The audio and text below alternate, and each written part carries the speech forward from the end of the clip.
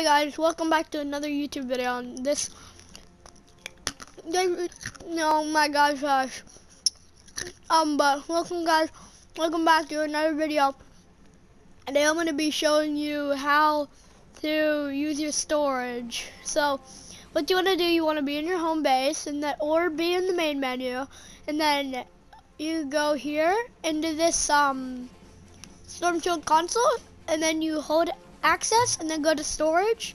Then you should be able to click X and then transfer on PlayStation X to transfer the guns over. And if you look down in the right, kind of, yeah, down down in the right corner, um, then you can see, bro. They can hear you, by the way, but okay.